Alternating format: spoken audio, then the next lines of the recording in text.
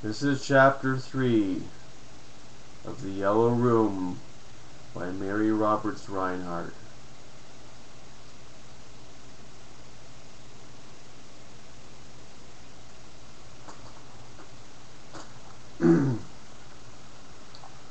she was still shivering as she got her bag from the entrance hall. She did not put on her hat.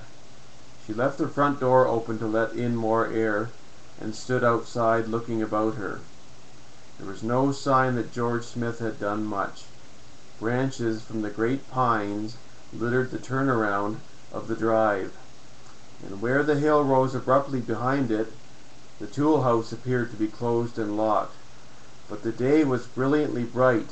A bed of peonies by the grass terrace at the side of the house was beginning to show radiant pink and white blossoms and a robin was sitting back on its tail and pulling vigorously at a worm.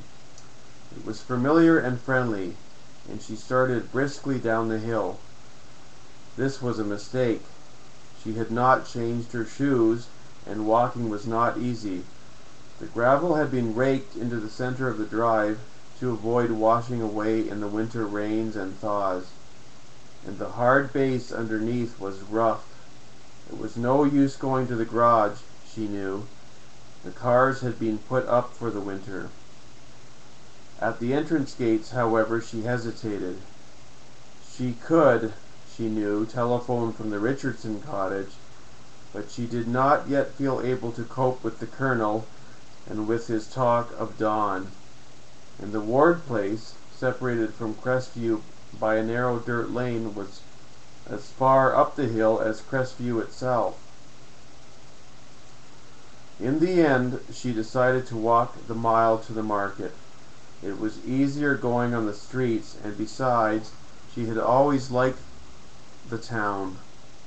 Its white houses, neat and orderly, its strong sense of self-respect, its New England dignity, all appealed to her. It looked friendly, too, in the morning sun, and her anxieties seemed foolish and slightly ridiculous. It was still early. Here and there, it being Monday, washing was already hanging out in the yards, but she saw no one she knew until she limped into the market. Fortunately, it was open, and behind the counter, Harry Miller was putting on a fresh white coat.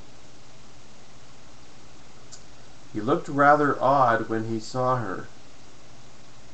"How are you, Miss Carol?" he said, as they shook hands. "I heard you were coming. Early, aren't you, this morning?"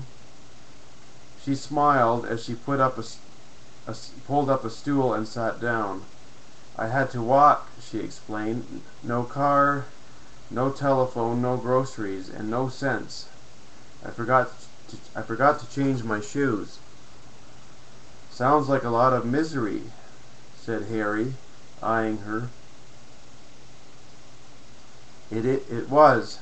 It is. Harry, do you know anything about Lucy Norton? She's not there, and even George Smith isn't around. I don't understand it. Harry hesitated. Well, he said, I guess you've run into a bit of hard luck, Miss Carol. Take George now. He's in the hospital.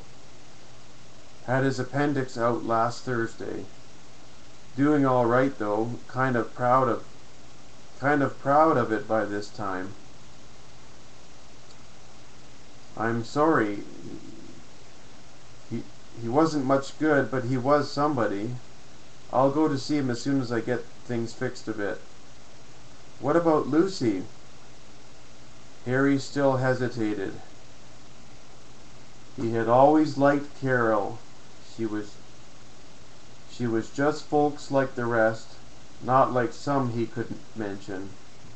And that morning she was looking young and windblown and rather plaintive. About your telephone, he said evasively. I guess your mother didn't pay any attention to the notice. You had to pay all winter even to keep one. And then, and then you were lucky if you did. I suppose mother's got one, Carol said. We didn't expect to, to come, of course. What about Lucy Norton? Is she sick too? Well, I suppose I'd better tell you, he said. Not too comfortably. Lucy's had an accident. She fell down the big staircase at your place and broke her leg. In the middle of the night, too.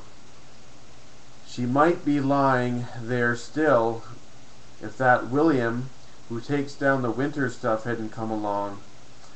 Seems like he wanted to borrow some coffee and the kitchen wing and the kitchen wing was locked.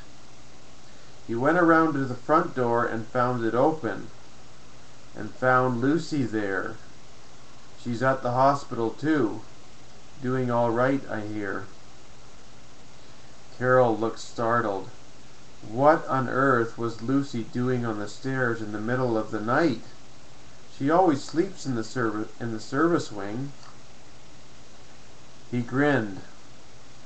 Well, that's a funny thing, Miss Carol. She says somebody was chasing her. Carol stared at him. Chasing her? Chasing her? It doesn't sound like Lucy. Does sound foolish, doesn't it? he said. She's a sensible woman, too, like you say, but that's what she claims. I only know what they're saying around here. Seems like she says it was it was cold that night and she got up to get a blanket from from some closet or other.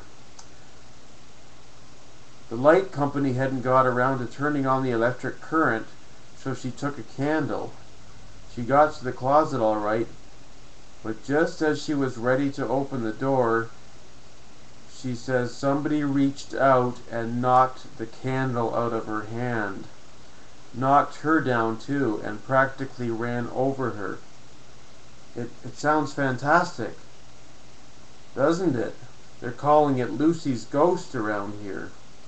Anyhow, she was so scared that she picked herself up and made for the stairs. It was black dark, you see, so she fell right down them. It's a mercy she was found at all.